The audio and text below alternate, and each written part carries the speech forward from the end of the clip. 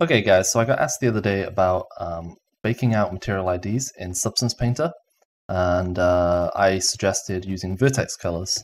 Um, but doing this in Blender can be a bit arduous. Uh, usually I do it in uh, ZBrush, because I do a um, auto polygroups, and then I do polygroups to polypaint. Uh, and polypaint is basically the same as uh, vertex colors. And then when you export out your mesh, you can just bake that down uh, to the low poly um, pretty quickly. So um, but you know, say now you want to do this in Blender, uh, it could be a bit, uh, bit of a process. So uh, I've kind of sped it up. Um, so say now we want an, a, uh, a result like this.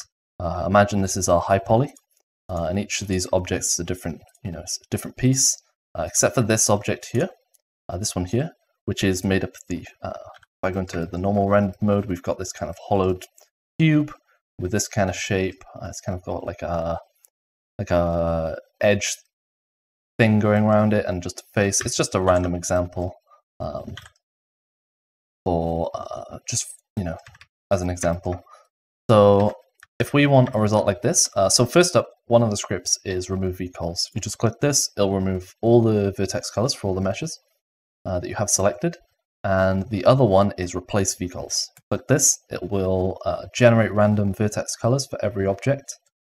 Um, so we can just keep clicking this, uh, cycle through colors until we find uh, colors that are all different enough that um, we know we'll get a nice uh, a nice bake. So for example, this color and this color are perhaps a little bit too close.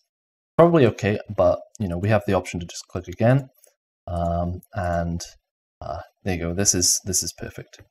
Um, but what if, say, we want this face that's part of this object to have its own vertex colors? Now we can just click the same button and this uh, gives us a new vertex color for this face. And again, we can just keep clicking this and it'll uh, cycle through and give us random colors. So we'll also do it for this edge. So if you actually select the edge and you click replace vcols, it will do it for all the uh, faces that the edge is a part of.